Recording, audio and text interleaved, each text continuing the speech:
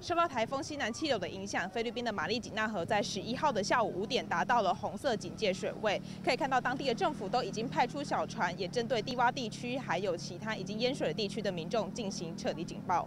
水势来得又快又急，临近河岸边的民宅已经淹到一层楼高，不少灾民涉水抢救财物，也赶紧撤离到收容中心。Ang hirap po kasi paano-ano kami, likas ng likas. Opo, abot na nga po, ilagpas na po ng bubong. Ano lang po, yung damit-damit lang po ng bata. Basa lahat ng damit namin. 这次圣马雕镇十个里以及马利吉纳市三个里全都泡在水中，慈济职工及时看灾，也到超市替灾民准备应急面包。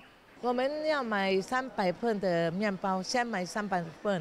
假如不够，再来买。不过，在晚间七点，第一时间撤离的收容中心也遭遇淹水，灾民只能再赶紧移到邻近的教堂。这三十天之内，这已经是第三次第三次淹，但是这个最严重的，从长计议了。今晚呢，应该没办法很顺利的发放，我们就认为说，今天面包先发。三层楼的空间拥挤了将近一百多位的灾民，而慈济之光未来也会针对这些灾民做长期的关怀。大家新闻，这是邓明仪，菲律宾报道。